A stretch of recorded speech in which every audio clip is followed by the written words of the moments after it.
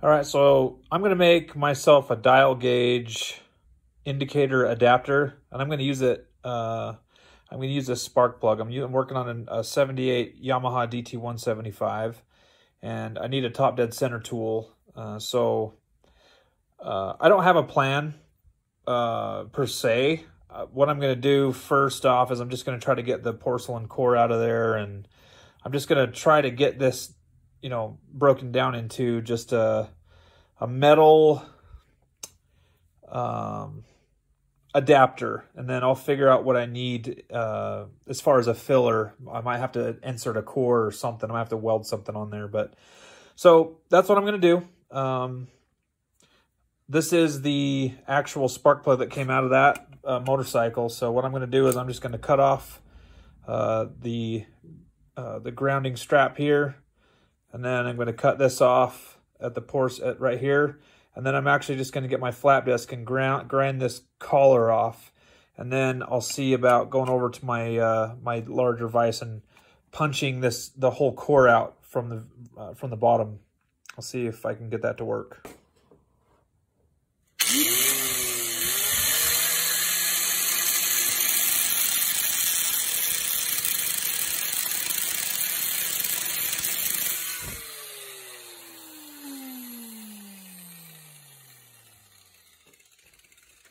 Porcelain is hard. Good grief.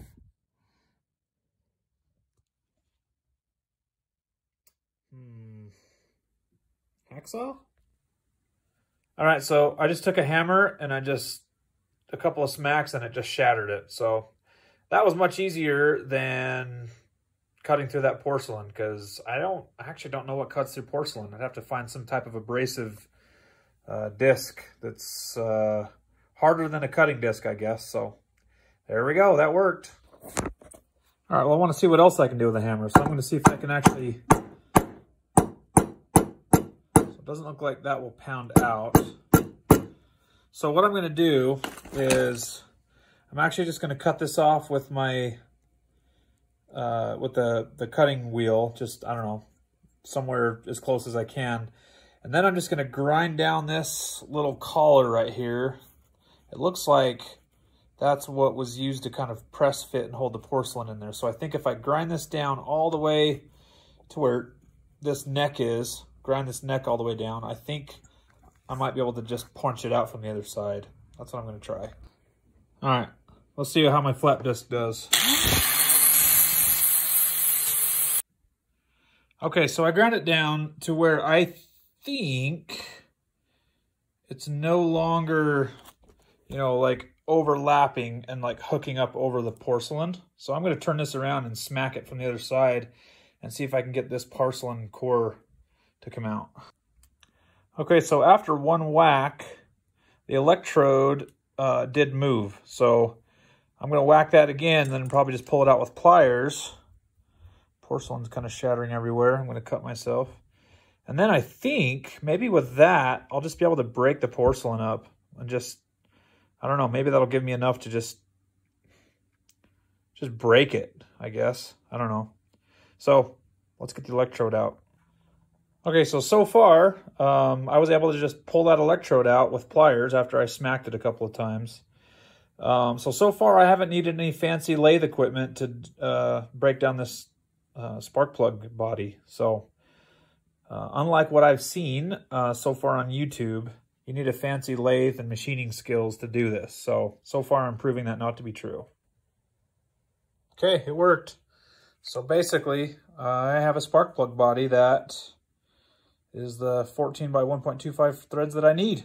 So now I am going to figure out uh, how I'm going to secure. So I'll drill a hole in the side here so that I can uh, insert a set screw. So I'll drill it and then I'll tap it. But before I do that, I've got to go get my dial gauge. So this is all just happening in the spur of the moment. So I think I'm going to go to Harbor Freight tomorrow, see if I can find a dial gauge. I think they've got one for like 15 bucks. So I'll need to get the diameter of the shaft and then we'll kind of have to start figuring out how I'm going to uh, fill up the center here so that it has the correct, um, I want it to be a tight fit if it's like 3 eighths of an inch or whatever, I'll have to figure out some type of insert. So what I could easily do is if I can find a some stock that at least gives me the right inside diameter, then I can just stick that in there and weld it, and then I can fill weld all the way to the to the edges. So I don't know. We'll see. It's a work in progress. But so far, again, nothing, uh, no fancy machinery to do this job. All right. So here's what I'm going to do. I've actually cleaned this out really good with my Dremel wire brush attachment. And so I've got nice clean metal. Basically, what I've got here is just a spark plug body that I am about to fill up with weld. So I'm going to start right there at that bottom bevel, if you can kind of see where that bevel starts. And I'm just going to start filling it up. So I'm going to fill it up all the way to the top, and then I'm going to flatten it up, flatten it off, and then I'm going to drill from this side uh, to the size that I actually need. So I tried to find some other inserts or something that would make this, you know, easier, but I don't know. It's pretty easy to just take the MIG welder and just shove a bunch of wire in there. So that's what I'm about to go do.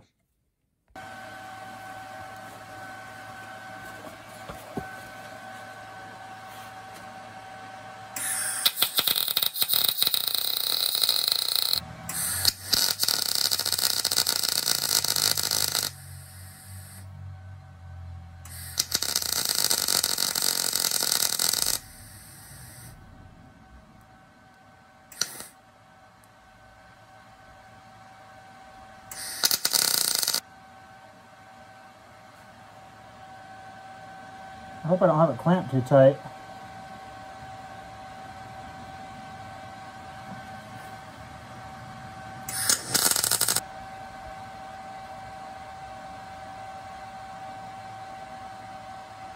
Yeah, I'm gonna give it a minute. That thing's hot.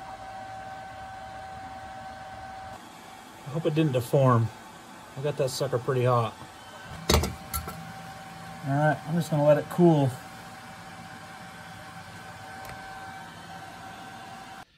All so there we go. Got it all filled up.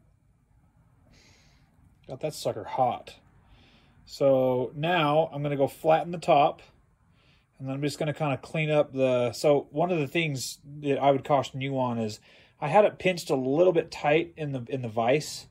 And so when this thing got red hot and molten, like it actually deformed a little bit. So I don't know don't do what I did and just leave it loosely in the vise, just enough that your your weld will down. I mean, you'll you'll notice my grounding lead was just on my vise, not on the part itself. But you only you just need to clamp it just enough to get a good ground uh, for the weld. But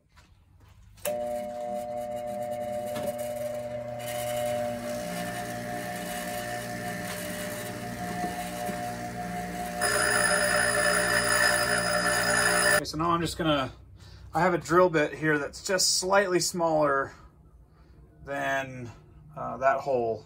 So I'm just gonna kind of start cleaning it out and getting everything uniform.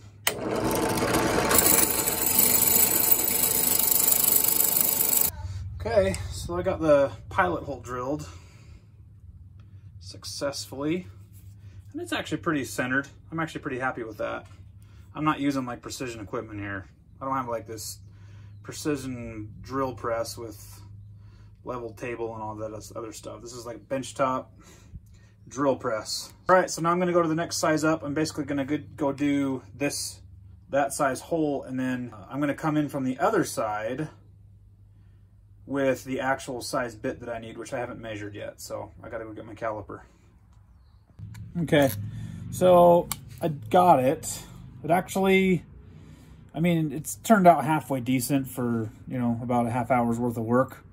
Um, considering, you know, I don't have a lathe and machinist tools. But um, one of the issues that, that I had is this is nine and a half millimeters in diameter on the, uh, the dial gauge. So the next step up that I had was 9.75 millimeters in diameter. And so I have a little bit of play. It's not bad. Um, I think I think once I actually drill, so I've got a set screw, so I'm going to go drill that in, and then uh, I'll tap the uh, that hole and then I'll we'll have a set screw that I'll use to maybe stabilize it if I can get it to. But main thing is I just want to see if I can get that centered as much as possible. Um, so I haven't ruled out like wrapping the shaft in this of this in some type of electrical tape.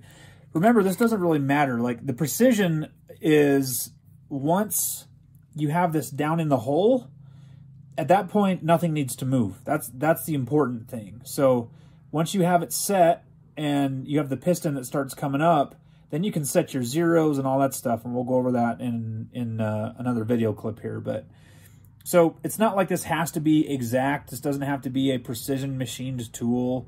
Um, it just needs to be that when we screw it in the spark plug hole, when the piston starts to come up and make contact with this, that this does not, that this actually is rigid and it doesn't, it can't wobble. It can't move around like that. So we'll see what happens when I put the, when I put the set screw in.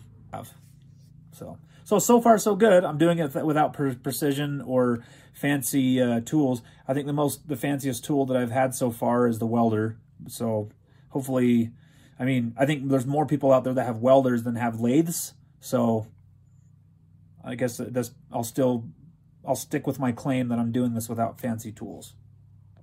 All right, so I drilled a, it's a quarter 20 thread.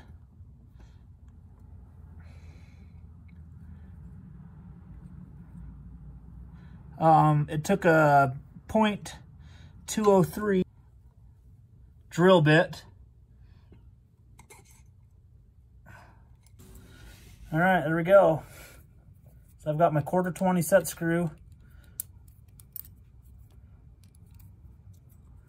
It's nice, uh, threads feel nice and solid. So, see if I can give you, there we go.